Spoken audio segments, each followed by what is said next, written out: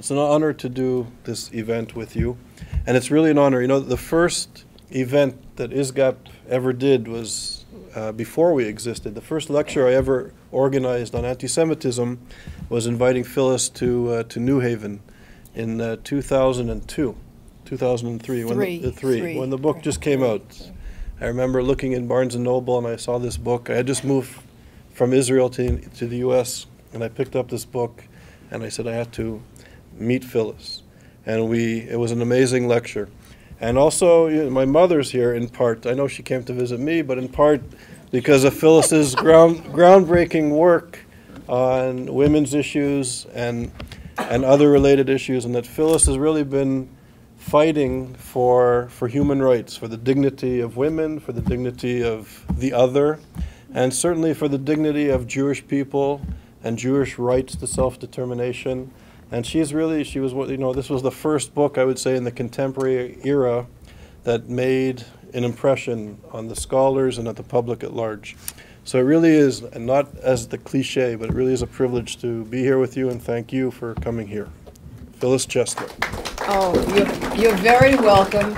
It's the, the subject is the cost of exposing anti Semitism and the even higher cost of failing to do so. I am a Jew, a feminist, an academic, a civil libertarian. I believe in universal human rights. I am not a multicultural relativist. I do not follow Edward Said or the post colonial academy. I oppose it, which indeed brought about the Palestinianism of intellectual reality and which projected Islam's apartheid practices onto blameless Israel. Although indeed I sought an expansion of the dead white male canon, I opposed the consequent worship of victim status, the balkanization of identity, and identity politics. Today, we are up against dangerous demagogues whom we have allowed to flourish on campus and in the media. Would we allow a professor to teach that the earth is flat and reward him for teaching junk science? Imagine this professor had a following which demonizes, intimidates, and death threatens all those who believe that the earth is round. Such behavior is typical of Islamists or Stalinists, but I'm talking about the Western intelligentsia.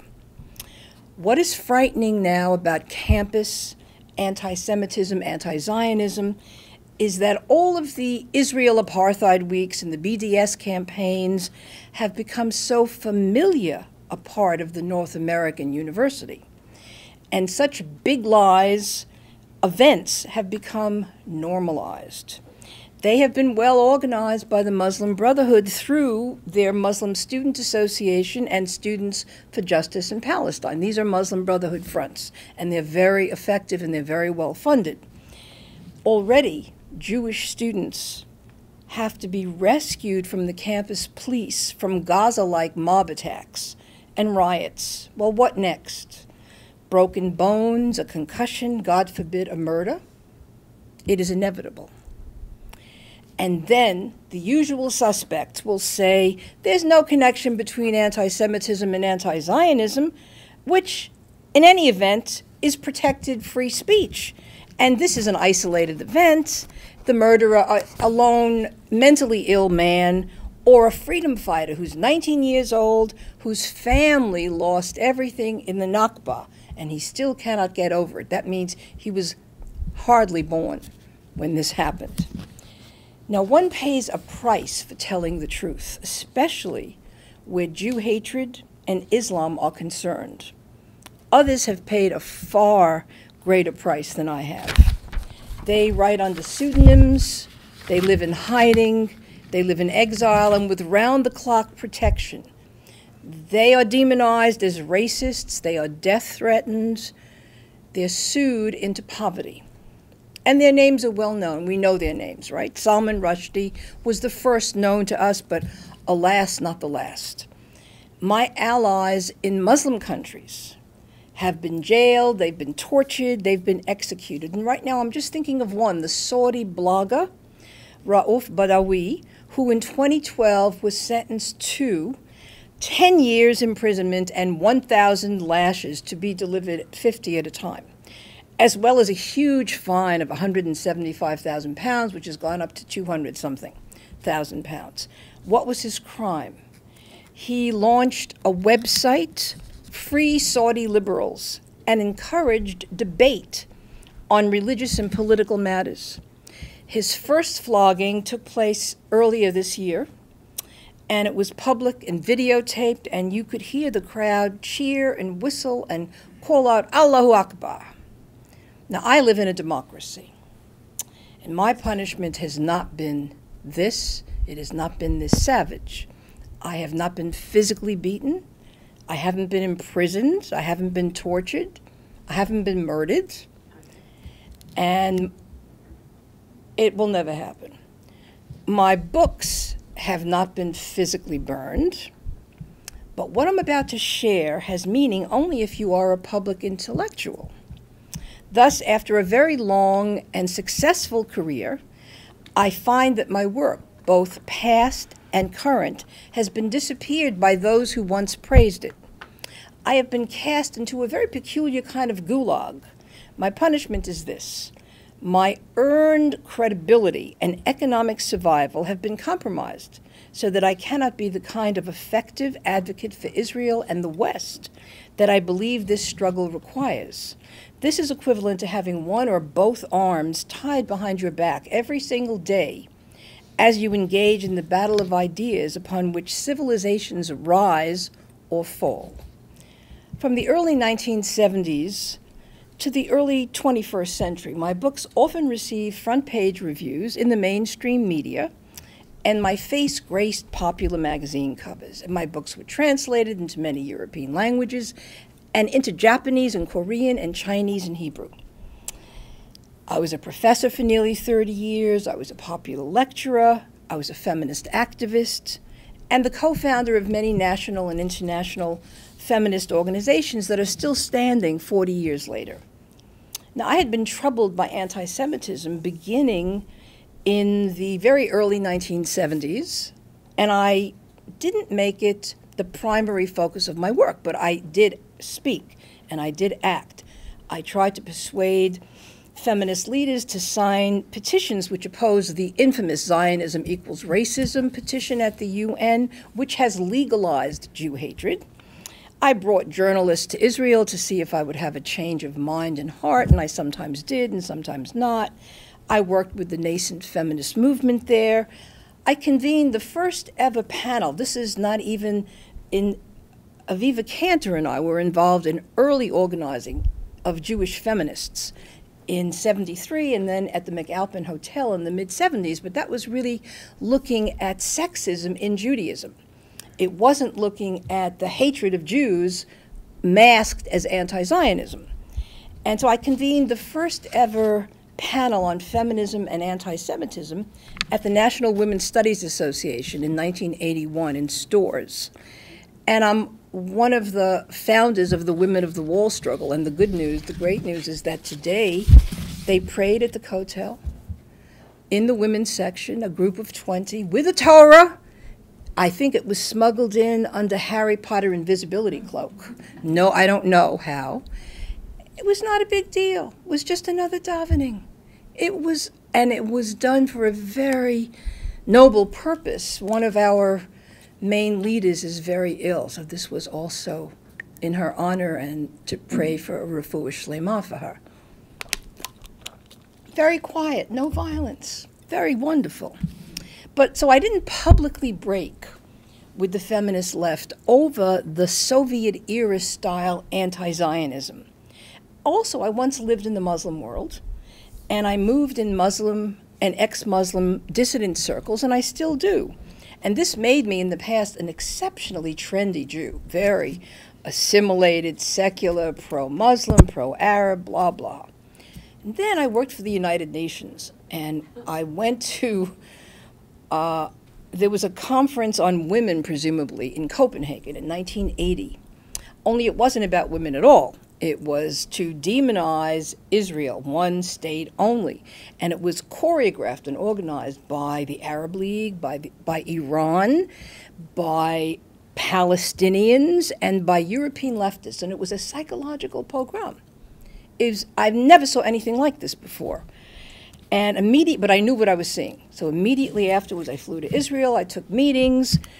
I was on the front pages of the media talking about the return of anti Semitism. Israelis assured me that this had nothing to do with them, that this was from the past. One nation fights with another, not a problem. But then I came back here in 1980. 1980, I took meetings, as the phrase goes, in Hollywood with Jewish American organizations, and I said, listen, the propaganda war that's going to come down against us requires that we train the coming generations in the language of liberation and oppression. And uh, we also need to understand Islam. I got a very respectful hearing, but it led nowhere. And I thought, well, it's because I'm a girl. No, recently, our colleague Richard Landes told me that he had argued a similar case in the 1990s and got nowhere as well. That means that we've lost 35 to 60 years in terms of combating the lethal war of ideas against us. In the year 2000, I was really shaken by Arafat's intifada, by the two reservists who were lynched in Ramallah, and all the media talking heads showed it bloodlessly, without affect. They didn't say barbarism, they didn't say lynching, they didn't say racism, they just showed it. Then I knew the bloody beast was back, and then remember how quickly the Muhammad al Dura blood libel went viral. It was on t shirts, it was on mugs, it was a lawsuit in France, it was a rallying cry, it was proof that the IDF purposely kills Palestinian children. This is such a big lie. So suddenly, the propaganda war that I knew was in process was all over us, was coming down. It dominated the world stage. Then we had 9 11, which tore a hole through history in my own city, our own city. And bin Laden's early pronouncements were anti Zionist, anti Christian, anti American, anti Jewish. And I understood that a great evil had been unleashed, not only against Muslims, that's who they practice on each other, but against civilians everywhere, anywhere, and against the values of post Enlightenment Western civilization. This theme had claimed me, and dare I say, it had chosen me. I saw that a slow motion Holocaust was taking place in Israel, a Holocaust that remained invisible to most of the world in 2001, 2002, when Israeli civilians were being blown up in cafes and nightclubs and hotels and buses and supermarkets, remember? I began writing around the clock. Possessed. And I wrote then that anti Zionism is the new anti Semitism and that a perfect storm was underway, coming to us from the Islamic world, which had for centuries persecuted, murdered, taxed, and exiled Jews and infidels, not to mention their own women. A world which is now allied with a politically correct Western intelligentsia. Perfect storm. Very suicidal on our part. my Jewish and left liberal editor on the new anti Semitism castigated me. And he said, Are you sure you want to say this? Are you sure you're comfortable? Are you sure you're right? And I said, I am. He was not happy. And then in 2003, I published the book. It was as if I had not spoken, but paradoxically, oddly, my words were treated as traitorous. So for the first time in my career, the mass media wasn't interested in reviewing, even to condemn my work or in interviewing me. Being disappeared in progressive and mainstream circles was a new experience for me. So three months passed, and the New York Times had not reviewed the book. So I wrote and I asked why. I said, Is the subject not timely? Have there been too many other books lately? Um, can it be because I'm a woman? Surely that can't be the reason. So Bill Keller, who was the incoming managing editor at the time, wrote back to me, and I saved it. I have it. if you are accusing Chip McGrath, who was the Times book review editor, of being an anti Semite, then you are a neurotic, paranoid woman. Well, I had not mentioned anti Semitism in my letter, purposely. But undeterred, I found another reporter who was the head of the education desk in Washington, D.C., not someone who I knew. It turned out she had tried to review this book, but they wouldn't let her do it. But I said, forget about the book. And I offered her access to about 25 professors all over the country who had run into deep trouble when they brought up Israel or when they defended Israel. Uh, and they wrote to me about their plight on campus, having read the book. She started to work the story, and then several weeks went by, and she got back to me and she said, Well, all I can tell you is I've been stopped at the highest levels. Now, ironically, my first piece, which was about the anti Semitic intelligentsia, had been rejected by the New York Times and by the Washington Post. I dutifully sent it off there. So I turned to Front Page, a conservative website, and it was a site that had just savaged this very book. Savaged it. It was Judy Lash Balint who wrote a bitter, bitter review saying, Where were you before? Now the feminists are waking up, too late. But they allowed me to rebut it. So they published this new piece, and within 48 hours or less, the anti Zionist filmmaker, a Swedish brilliant filmmaker, Luke, Lukas Moodysson, allowed his work to be shown in Israel. He had before that said no, and then he fought with me, how dare you, and then he changed his mind. So publishing it front page made a difference. And this is the first essay in Living History, which is the book that has literally just come out on the front line for Israel and the Jews 2003 to 2015.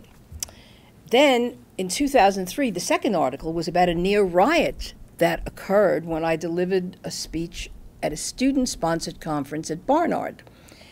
And they loved me, I loved them, it was all terrific. A beloved Jewish professor until somebody stood up and said, We demand to know where you stand on the issue of the women of Palestine.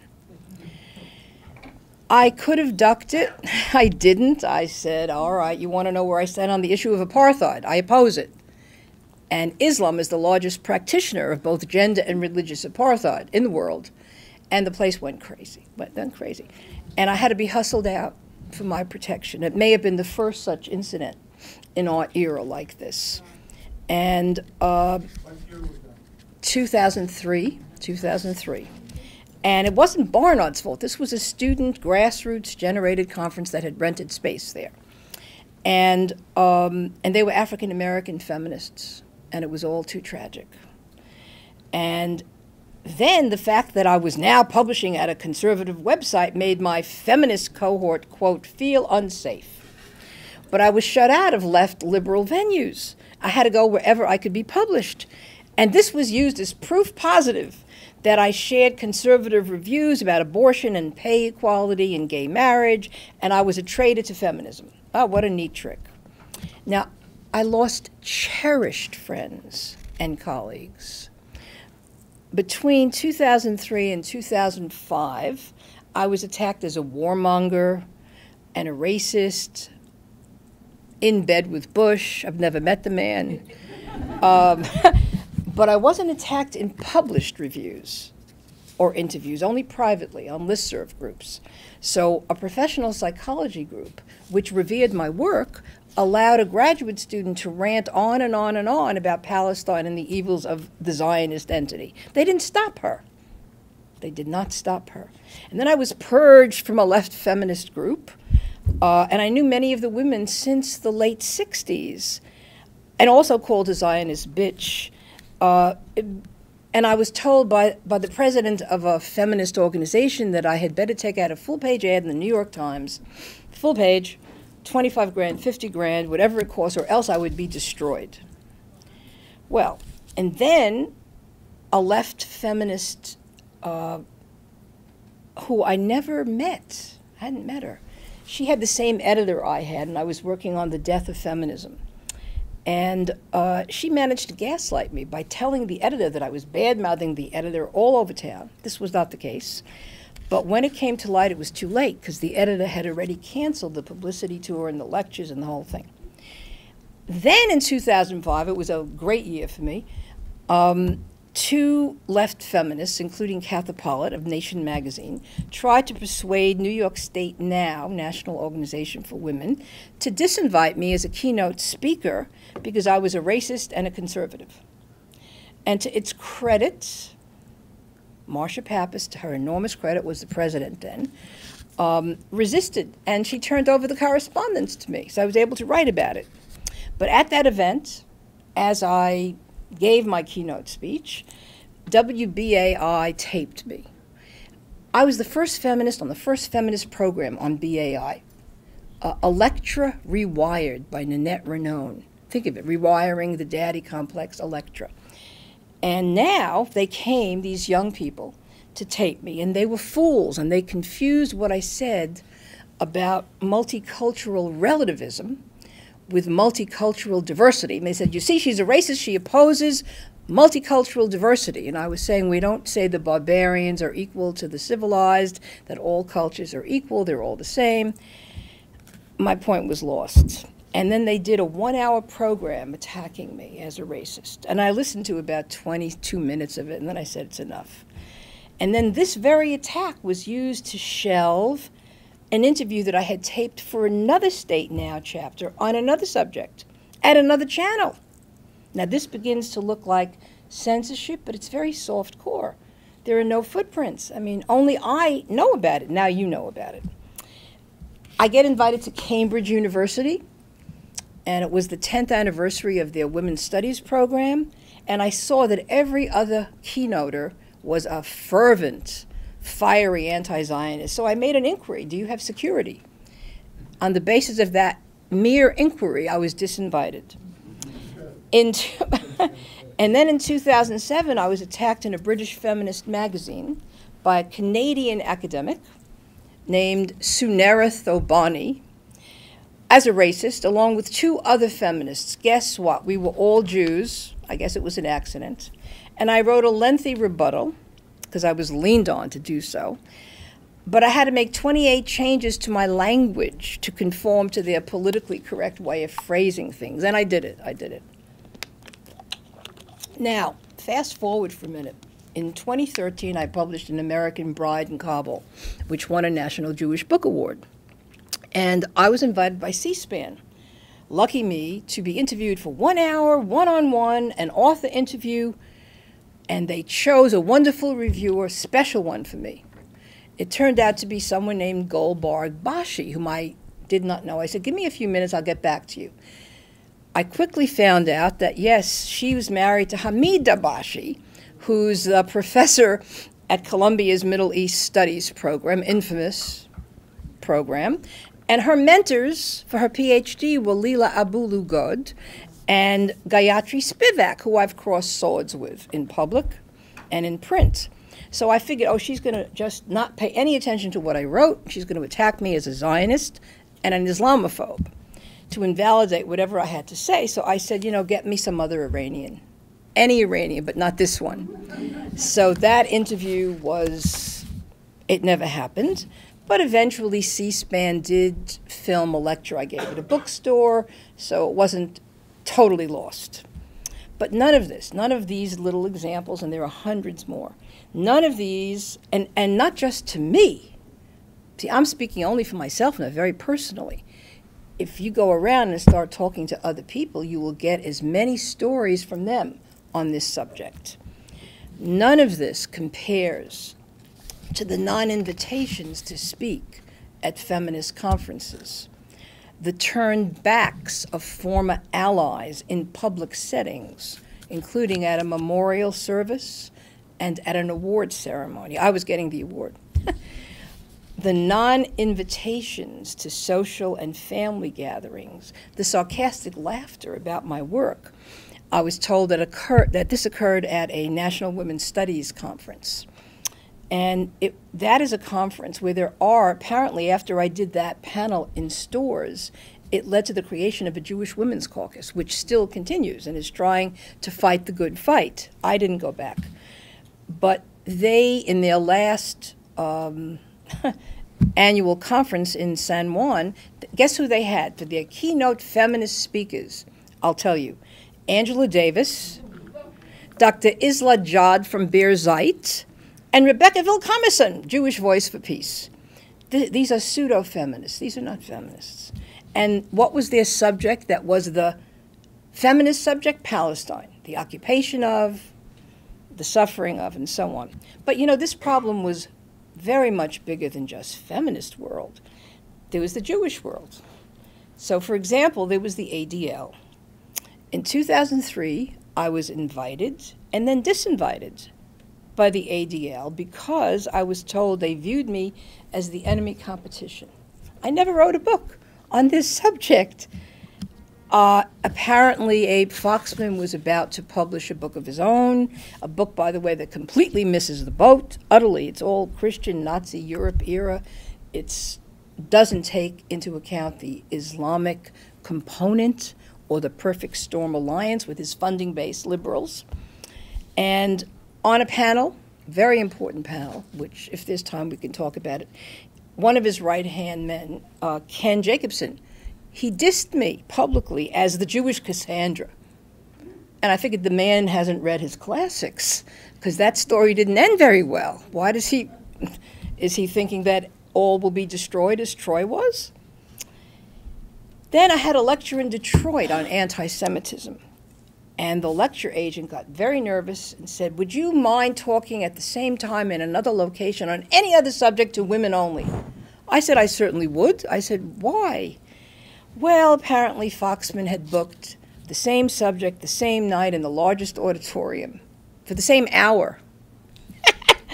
and when I called his office to suggest let's just all do it together and donate all the money to Israel, he never called me back. But you have to understand, I'm nobody, and he has pulled in 50 to 75 million dollars a year in the, from the Jewish world in the course of his career. So he must be delivering something that the Jewish world wants. So I did not speak in Detroit.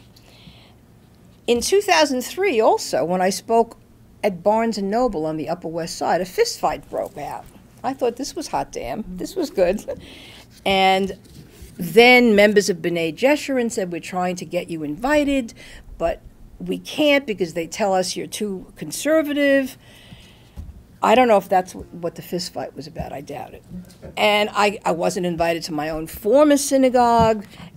I wasn't invited to the Jewish Museum. I kid you not.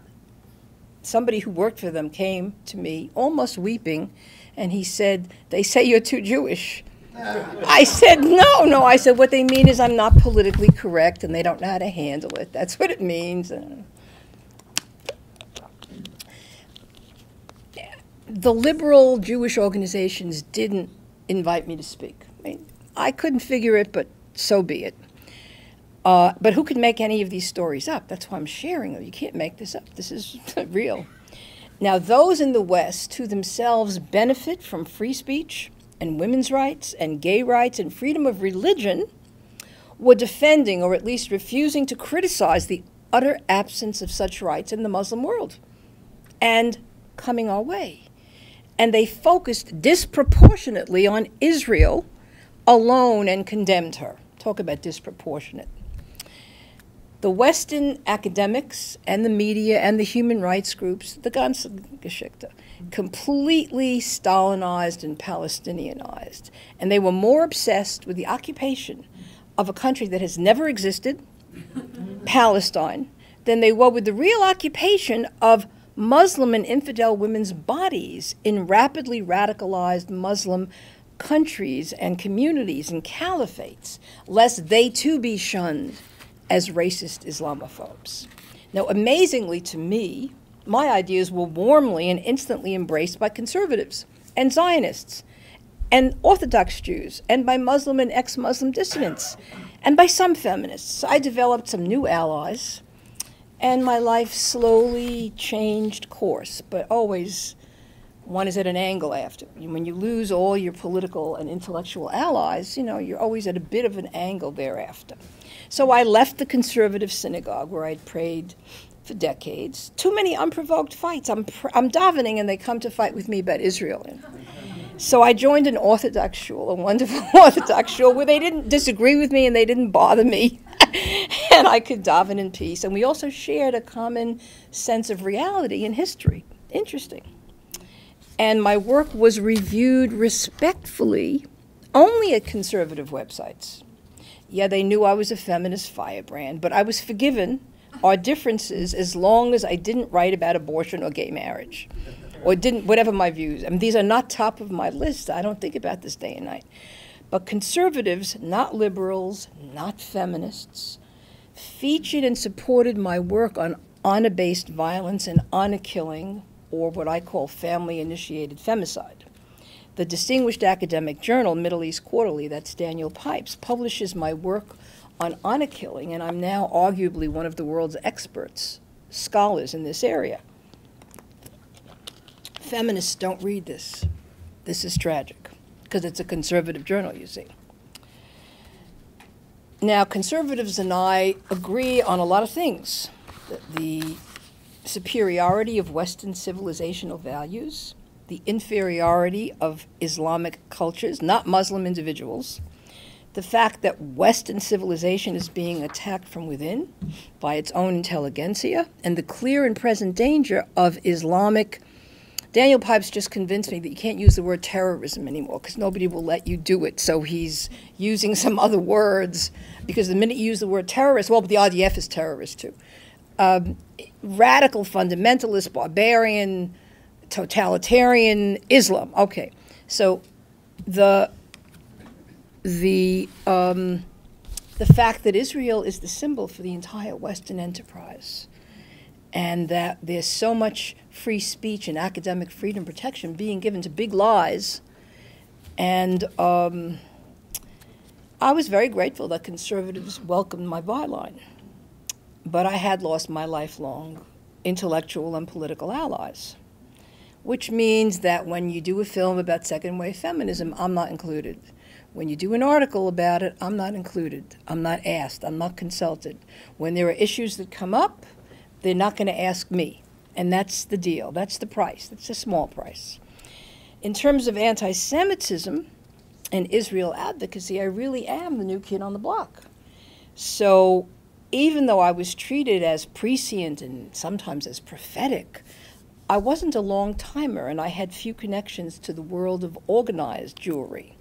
And the more I saw, the less I wanted to become a professional Jew always everywhere, promising everybody anything, my begging bowl at the ready. Thus, between being seen as a traitor by feminists and as an independent loner by the organized Jewish world, I was never properly funded. So, for the last 15 years, I've had no salary, and I've had to cover more than half of my operating expenses, which are considerable. And again, when I say me, multiply me by a team of 2,000 or a team of 3,000 that will be essential for our survival. So, a webmaster, a website, an IT team, a research assistant, equipment, office costs this is expensive stuff. So, if I don't get funded, this might be one of the last lectures I get to give. I'm done. I, and I don't want to stop, but reality is biting me. Now, forget this. What's far worse than this is that despite valorous grassroots efforts, including my own, we have lost the war of ideas. Israel is now utterly defamed, and we face a tsunami of hatred. We have lost the campuses, the human rights organizations, the media, the United Nations. We've lost the ideological high ground. That means the truth has lost the high ground. And it's almost impossible to convince people with closed minds that the most abhorred settlement has always been Tel Aviv that the settlements refer to Israel, the Jewish and one and only Jewish state in the Middle East. Now, lately, there's increasing evidence of, uh, it's anecdotal, that Israeli academics have been disinvited, not invited, not asked to, to present papers at conferences where they were asked before. If they send in scientific work, it's at the bottom of the pile. This is another kind of soft core undeclared boycott, but a boycott it is. So mil- Israel's ability to defend herself militarily is not in question, but her right to do so is very much in question. So now Israel is surrounded by a hostile international community 24 7, legally, economically, politically, and in part because we lost this ideological war. After 15 years on this particular front line, I have to conclude that one cannot win such a war if one refuses to fight it. The barefoot, underfunded, unfunded, or underfunded cognitive warriors, Charles included, have not been, although you might now be, have not been supported by the large Jewish organizations or by the Israeli government. Listen, read my lips. To fight back would probably cost hundreds of millions of dollars each and every year. And the effort would have to be coordinated. That means no two Jews, three synagogues, coordinated like a military team. And one cannot win a war of ideas when some of one's own people are part of the problem.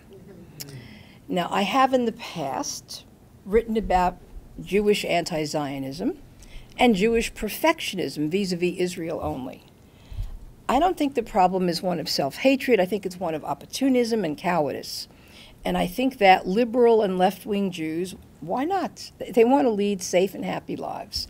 And who can blame them? They don't want to have to put up with what I just had to put up with. And they don't want to become pariahs in their communities by taking up the cause of a defamed Israel.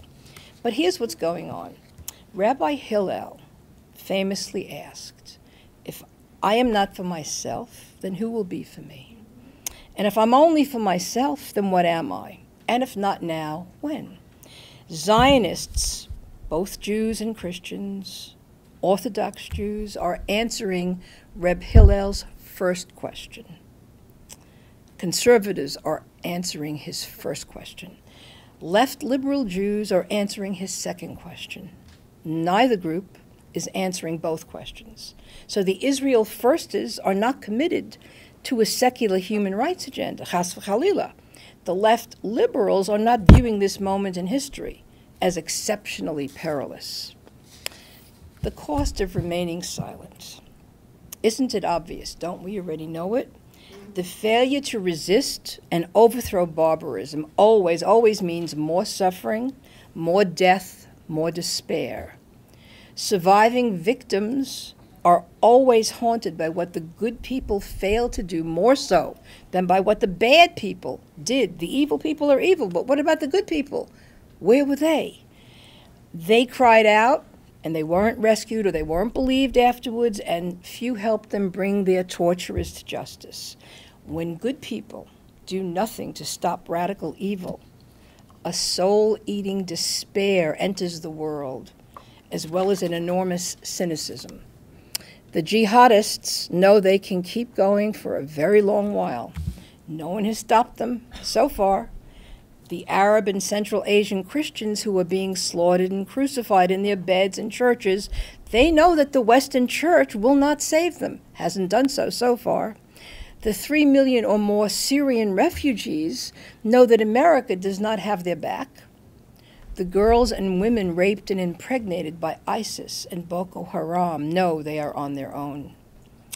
Despite 9 11, 3 11, 7 7, the West has not really yet paid the price for failing to stop far off genocides. Today we watch the propaganda, they put out their own beheadings, and it's death pornography, and in a, in a sense, we're complicit we're voyeurs. We collaborate. We watch it and we don't stop it. It's happening on our watch and it keeps happening and we don't stop it and we know about it. And we refuse to understand that it's coming here, that it is here, that it's here, and that only the most extraordinary vigilance has, and maybe some luck, has stopped hundreds, if not thousands, of jihad attacks here. Now, evil always triumphs when good people do not stand against it like Europeans and Americans in the Nazi era. You could have privately disagreed with Hitler, who cares? It didn't save 11 million lives. One must resist actively, or the devil always wins. Covering up Stalin's crimes, 40 to 50 million died. That's not resisting the devil. According to Bonhoeffer, silence in the face of evil is itself evil. God will not hold us guiltless. Not to speak is to speak. Not to act is to act. So, what must we do? As Jews, we're commanded to stand against evil in our time, to right injustice, but we're not commanded, thank God, to complete the work. It's very long past the midnight hour. But here's what should have been done and what we have to now do. And this project may take 100 years, but there is no alternative if we're serious about deprogramming people and teaching them the truth about Israel, the Jews, the West, and Islam. Some people estimate that Israel's enemies have spent at least $100 million a year, each and every year, for at least 50 years or more to defame and delegitimize Israel. Towards this end, governments, European governments, have funded NGOs, think tanks, professors, students, conferences, human rights groups, and the United Nations. What has Israel spent? What have Jewish organizations in the diaspora spent? What have good people everywhere spent? although I certainly support it, I support every effort that individuals have been bravely making. I don't think that standing up with an Israeli flag at Berkeley or San Francisco is equivalent to taking back the campuses. And I don't think that training a handful of future students to engage more effectively in on campus shouting matches or counter demonstrations will do the job. Nor do I think that documenting the big lies, something that I do all the time, is anywhere near enough because who reads me? Only the people who already agree with me, whose blood is already boiling. We need the equivalent of a global iron dome to protect Israel from defamation. What would that consist of? Well, we would need, to begin with, a worldwide, multi language, pro Israel, pro America, pro West Al Jazeera, a TV station that focuses not only on Israel or even on the Middle East, uh, that covers the whole wor- world, but very high quality. But when it comes to the Middle East, just tells the truth. This may cost billions of dollars each and every year, just this. And this must be, it can't be done on the cheap, and it can't be staffed by the con artists of sensation. Even though Kim Kardashian is very popular, she's not useful in this endeavor. So this would have to be a sober undertaking of very high quality with team players, not breakaway egotists. Maybe we can't even have Jews working on it. So we have the talent, but we don't have the money. We need to fund the deprogramming of all those who have been brainwashed into this mass anti-Zionist psychosis. Campus wide, mandatory all day teachings, mandatory all day teachings every single semester to start with on at least 2,000 American campuses, which is less than half of the existing 4,500. And Charles should be training the professors. ISGAP should be doing just that, but it has to become mandatory. And this is barely a start the true history of the Middle East, including the history of the Jews and infidels and Jews in Muslim countries and religious minorities in Muslim countries, has to be made known. Americans don't seem to know about it. And in order to balance a very unbalanced view of history, we have to teach students and professors about Islam's long history of imperialism, colonialism, conversion via the sword, anti black racism, slavery, and of course, religious and gender apartheid. So when we are saying the West must atone for its enormous sins, yeah, well, human errors, all cultures, that doesn't happen on the American campus. Now, I have a lot of other ideas. All of them, all of them require funding and organization and serious government backing and philanthropic backing. But we have to outwit the opposition globally because that's their chosen playing field. Israel's got it covered militarily. Globally, naked to the winds. The anti BDS legislation that's just passed in South Carolina and is about to pass in Illinois should be passed in every American state. And we need new international legislation that doesn't single out only Israel at the UN and at The Hague. And we should, in my opinion, legally sue to get the Muslim Brotherhood off the American campus. But we have to shed our illusions permanently. We cannot expect that conditions will always improve or that one country or another will always be a safe haven for Jews. We have repeated our history many times. Our ancestors suffered in exile for more than 2,000 years, and while we are privileged to live at a time when our homeland has been restored to us, it was foolish to have thought that Jew hatred would suddenly become extinct or that Israel would not remain under siege. As Jews, as Israelis, as members of a nation holy unto God, we must understand and never forget that ours is an eternal struggle. Thank you.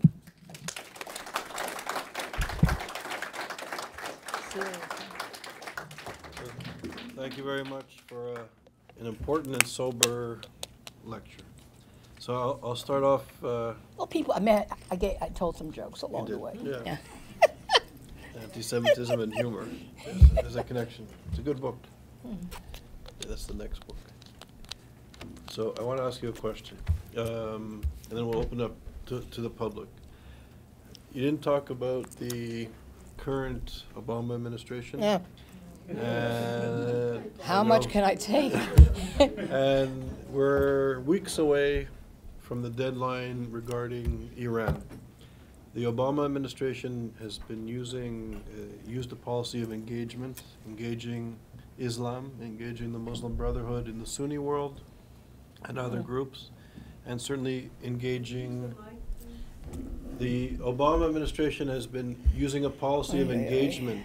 They've been engaging the Muslim Brotherhood in the Sunni world and other parties in the Sunni world, and they're also engaging the Iranian revolutionary regime. The Iranian revolutionary regime continues to call for the annihilation of Israel and the Jewish people. Can you comment on the on the effect of engagement on Muslims around the world from Paris to the United States and, and, and issues of anti-Semitism? I didn't know he was going to ask me this question, but in short, it empowers them. It unleashes the riots and the attacks against individual Jews, and then the uh, legal uh, moves to attack the Jewish state. That's what it does. That means everybody's the same, people are like each other, just because, and Obama has been quoted, merely because uh, Iran is sounding genocidal in its intention towards Israel doesn't mean that we can't deal with them and that down the road maybe they might change their mind. So Obama, he's lost, but we're lost along with him, and there are many. But remember, many Jews have voted for him, and they had, and they answered Hillel's second question. We have to bear this in mind without scorn. They're answering Hillel's second question. We have to help the others. We have to help the people here.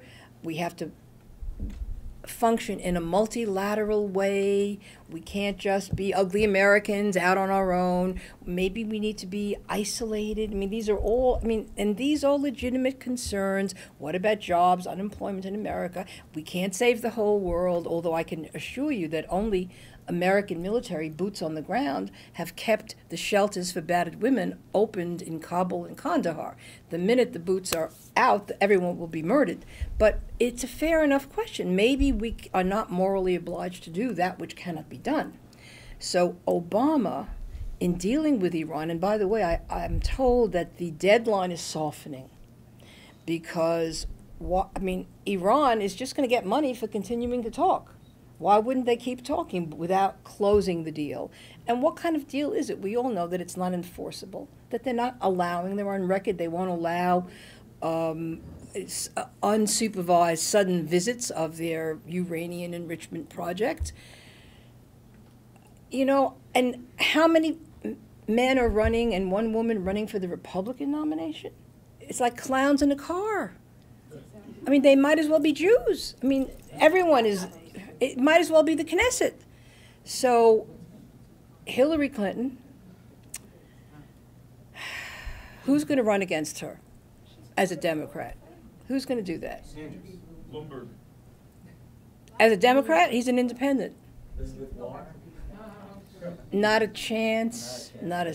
Well, actually, she was exposed as having uh, engaged in real estate ventures that are somewhat against her ruling ideology. Not that this should matter, because look at what the Clintons engage in. But you know, they're protected by it since we already know how they skirt just the curve of the law and get away with it time after time. It's not going to be used against them.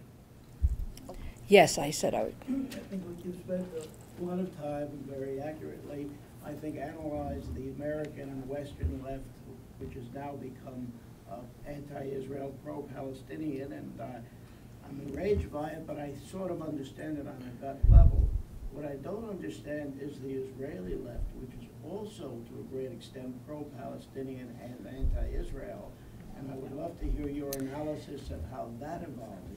All right, so he, he's saying he gets on a gut level why Western leftists would.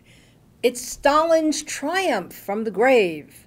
That's what's happening. So Western leftists can't give up that Marxist paradigm and that belief that human beings can, uh, better than God, perfect society, and if not, they're going to kill you if you try to stop them, right? They cannot give up that way of thinking. But then he's asking, why would Israeli leftists suicidally, by the way, the Western leftists are suicidal here. It's the same death trip, it's the same uh, Thanatos trip.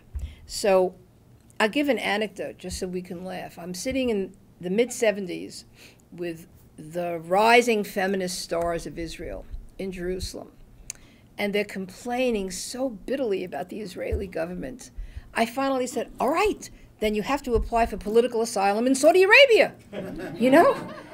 I mean, no. The thing is that there's no perspective. This belief that you can keep criticizing the authorities, tradition, the parent figures, the leaders, and and not look at in a balanced way the neighborhood that you're living in. So again, some of them are answering Rabbi Hillel's second question. They it's on their watch as Jews. They want ethical uh, actions. They want to help people who are suffering, and they're doing this as Jews. Dafka, especially. So that explains a little bit of it, and then it's what I said. It, they're keeping their jobs. They think they'll be sent to the gas chambers last. they'll open the gates for the barbarians who'll spare them.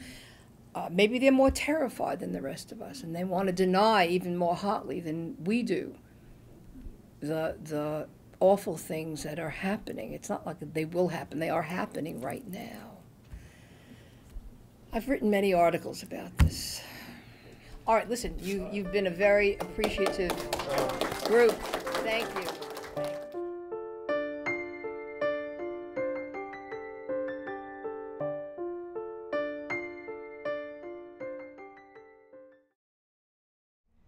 Would be pleased to send a complimentary DVD of this program to anyone who wishes to support JBS, the Jewish Broadcasting Service, with a tax deductible gift of $36, double chai or more, to the nonprofit organization Jewish Education in Media. Simply visit the JBS homepage and click on the donate button to make a donation by PayPal or your credit card. And please indicate the program for which you would like a DVD. Or you can send your tax deductible check made out to Jem, to Jem, Post Office Box 180, Riverdale Station, Bronx, New York 10471. And again, please remember to indicate which program you would like to receive with our compliments. And we thank you for your kind support.